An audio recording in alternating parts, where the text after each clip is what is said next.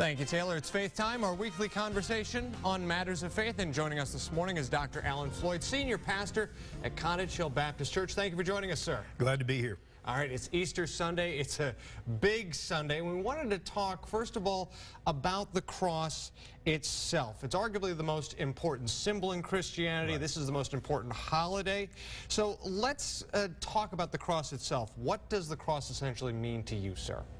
Well, of course, we know, Chad, that every religion has its symbol.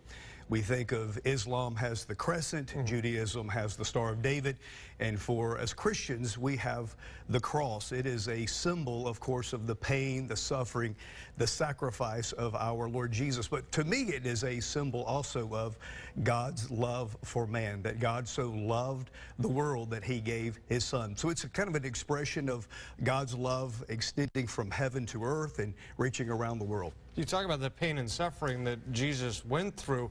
How did this ancient form of really what was public execution right. really become the most prominent symbol for Christianity? Yeah, there were many men, Chad, who were crucified before Jesus mm. and hundreds afterwards.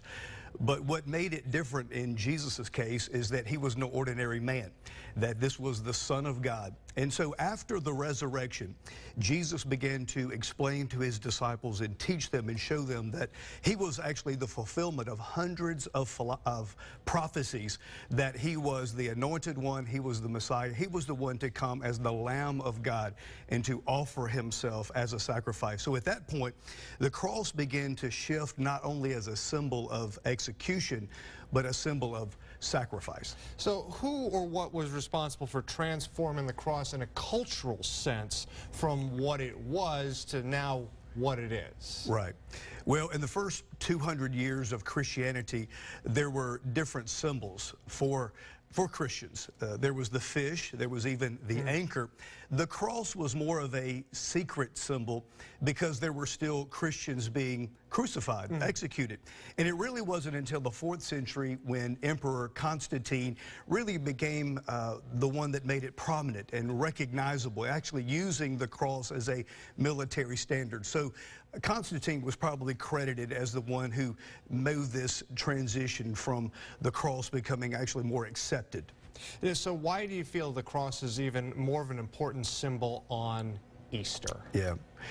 Well, for me, it's not really even the cross. It's probably the empty tomb or the mm. empty grave, but it's kind of difficult to put that on an Easter egg. I've seen but, a few people do that on their Facebook pages this morning. Absolutely. So really, I think the resurrection is more of the appropriate symbol for mm. Easter uh, because the resurrection was really God the Father's amen to the sacrifice that his son made. But we have to remember that the cross, it's not the wood beams, mm -hmm. but it's actually the place, it's the act of that sacrifice that Christ gave for us. There's so many parts to the Easter story. What do you say is your favorite, the part that stands out to you the most? Yeah.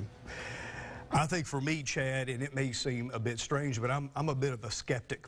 So part of my favorite part of the Easter story is Thomas, who mm -hmm. doubted. Thomas, who said, Unless I put my hands in his side, unless I touch the nail prints, I will not believe. And then, of course, in that next appearance, Jesus said to Thomas, Touch me. Here you go, Thomas. And then I think for me, when Jesus said immediately afterwards, Blessed are those who believe and have not seen. And that's the way it goes for pretty much all Christians is that we don't get that Thomas experience. How do you extend that Thomas yeah. experience to people who don't get to see Jesus in the flesh? Absolutely. So when Jesus said, uh, blessed are those who believe and not yet or not have seen, is that really this whole belief is an act of faith. The scripture says that without faith, it is impossible to please God.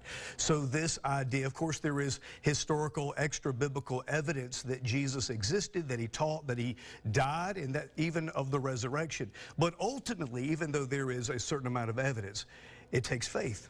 That's an excellent thing to remember on this Easter Sunday.